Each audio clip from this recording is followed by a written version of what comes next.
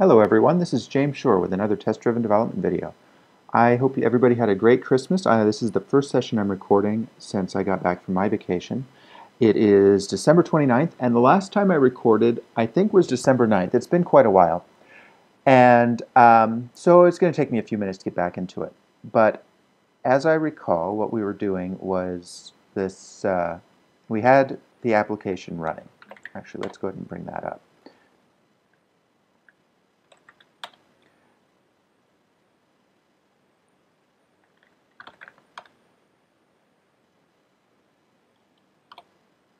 Okay, so there's our application. And we do have it working with some actual values now. Um, but what we don't have is any sort of error handling. And um, it really doesn't like that. So we need to get that in there. Yeah, if we make the numbers too big, there's all kinds of problems here. Um, and that's okay. That's, that's what I expected at this point. So that is next on our list. Now, on my website, on the comments on this video, DF Jones asked um, what I meant by expansion and contraction cycles. And I mentioned this, I think, in one of the recap videos that most of you don't watch. And what I mean is that there's the normal cycle as I work of test-driven development you know, write, uh, think about what to do next, write a test that's going to force that code to be written, write the code, refactor, do that in really small, fast cycles.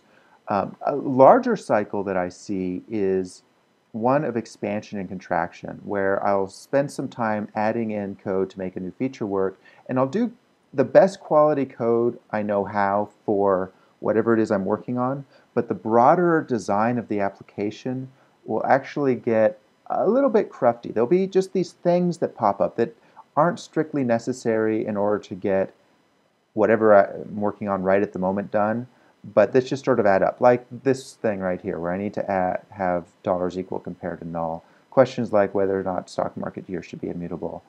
Um, little glitches in terms of how everything fits together. Those build up as you add new features, and for me at least, I don't want to take time away from whatever it is I'm working on right this moment to solve those. So uh, I'll go through a cycle of expansion where I'll add a new feature, and then I'll have to come back and take care of these and clean up the design. So that's what, and that's that tends to make the design smaller. It tends to make it cleaner, a little more clear. Uh, so I call that a contraction cycle.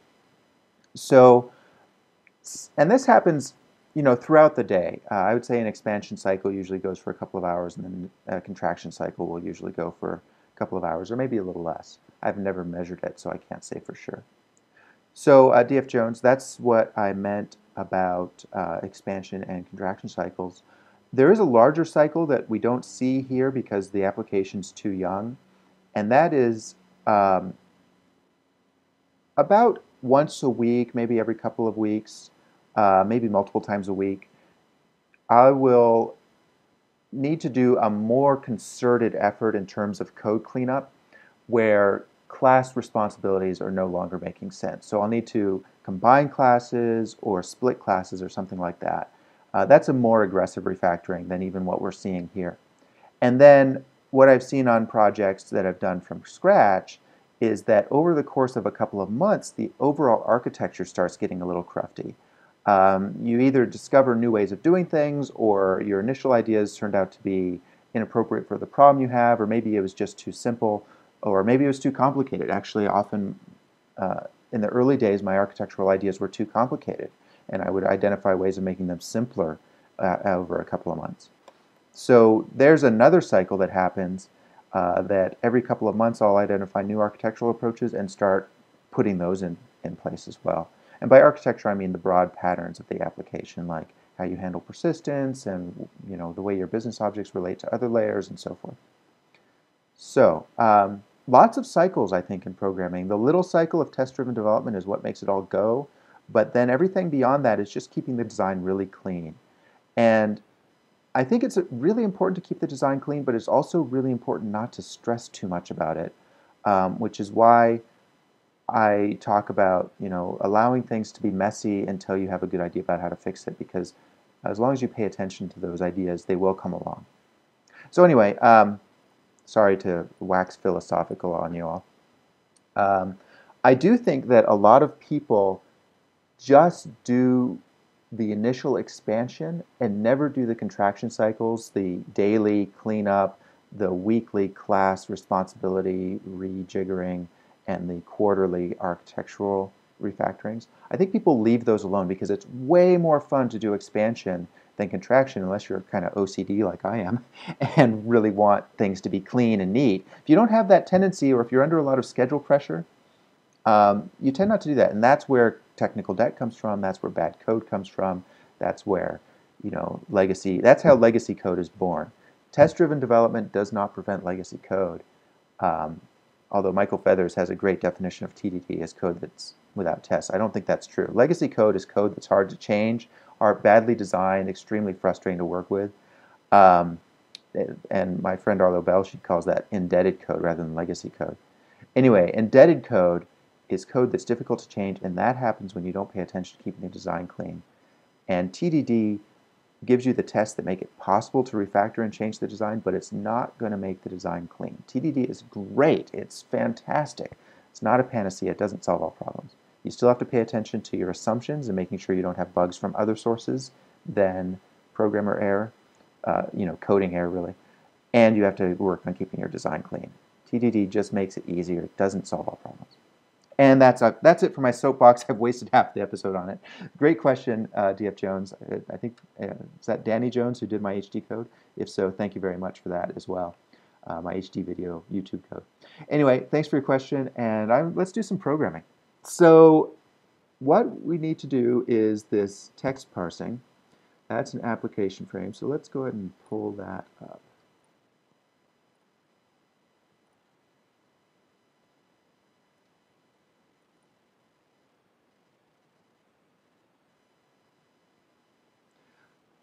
Okay, so yeah, right now we just do our stuff right here. And what we could do, I'm not going to write a test around this because I'm just going to experiment for a moment. Um, what we could do is say that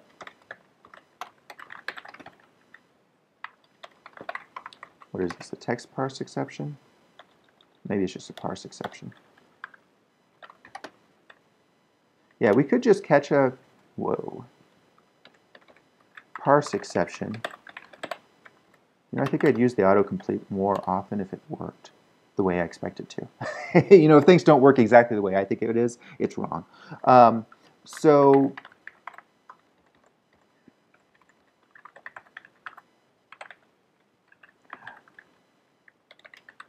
we could do something like this where we basically ignore, wow, I am rusty. Um,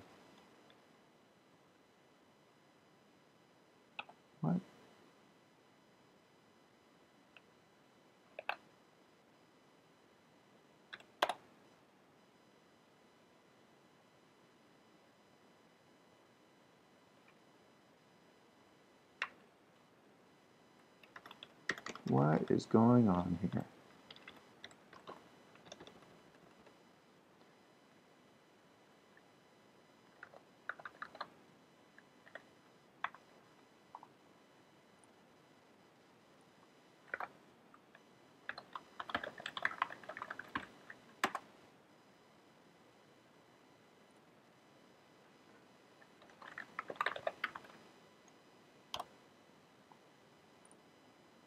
Oh, a number format exception. Okay. Um, sorry about that. So I could just catch a number format exception. Ugh, my fingers are cold. having work done in my office, so I have to work in a different place than normal. Um, and it's really affecting my typing. Okay, so sorry about that. That took way longer than it should have. So I could do this, and what this will result in is everything working just fine. But you know what? Except when I get to be too long. Oh, even that's working because because it's too big to be an integer. I wonder what would happen. What's the maximum integer? 24 billion?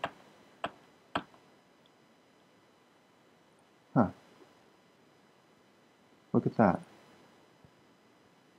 I thought that was bigger than a max int.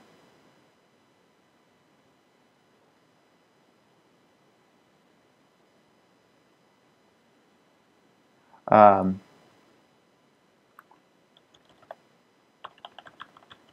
hmm, interesting.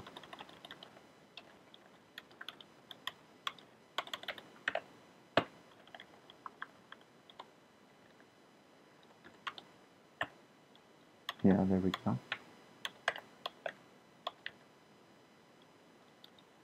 Um,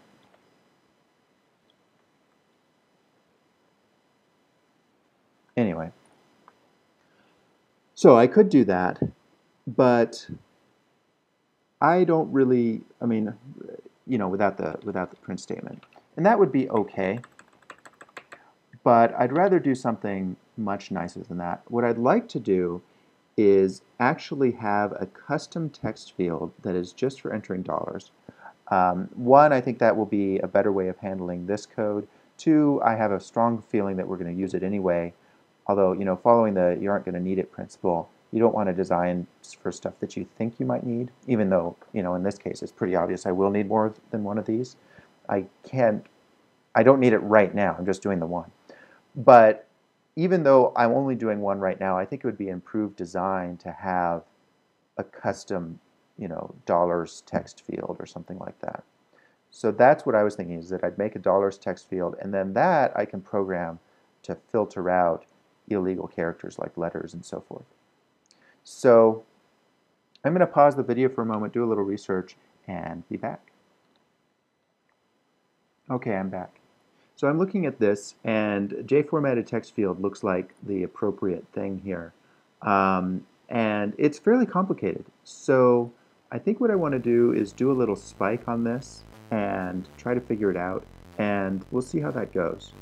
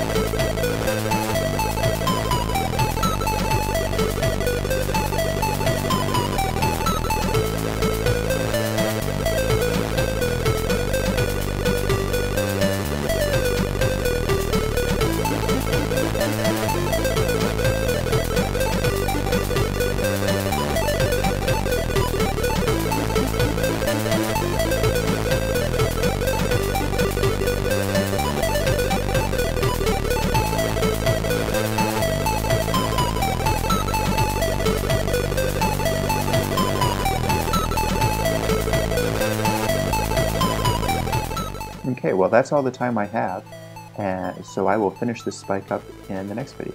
Thanks everybody for watching. I will see you next time.